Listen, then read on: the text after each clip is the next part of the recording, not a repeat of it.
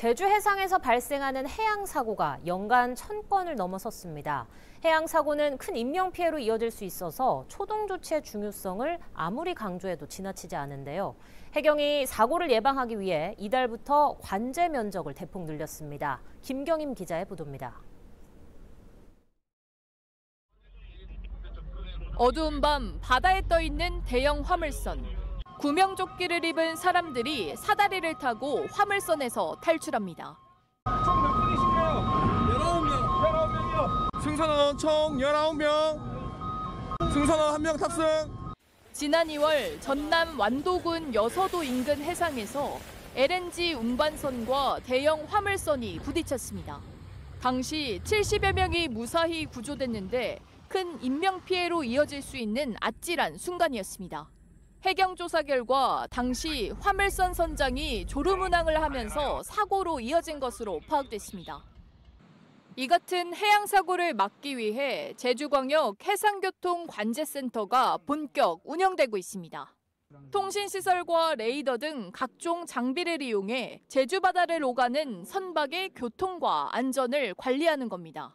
관제사들이 24시간 교대 근무를 하며 선박의 목적지와 도착 시간, 승선원 수 등을 확인하고 방파제 앞 기상 상황 등 선박 안전과 관련한 다양한 정보를 알려주기도 합니다. 네, 수고 많으십니다. 항모 순찰차 현 씨가 출항하겠습니다. 송선호 3명입니다. 네, 현 씨가 제주 외, 제주 어항에서 출항하는 거 맞으십니까? 맞습니다. 네, 양재했습니다. 안전하십시오. 네, 수고하십시오. 전국에서 운영되고 있는 선박교통 관제센터는 모두 19곳.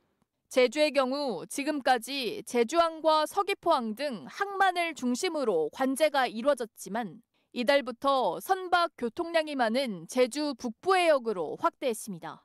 그리고 내년에는 제주 남부 해역까지 관제 구역을 넓혀나갈 예정입니다. 이에 따라 해경이 관제하는 바다 면적은 7,800여 제곱킬로미터로 기존보다 8.7배 넓어졌습니다. 관제 대상 선박도 하루 평균 90여 척에서 300여 척으로 3배 정도 늘었습니다. 지난달 성산항으로 입항 예정이었던 화물선이 우도 쪽으로 접근하던 것을 발견해 경로를 변경하게 하는 등 시범 운영 기간인 지난 3개월 동안 1만 3천여 건의 정보를 제공해 해양 사고를 예방했습니다.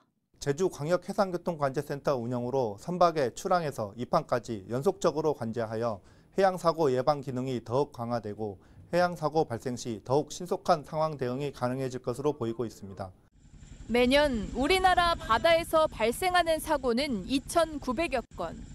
제주에서도 해마다 천건 넘는 사고가 발생하고 있는 가운데 관제구역 확대로 제주 바다를 오가는 선박들의 안전이 보다 강화될지 주목되고 있습니다.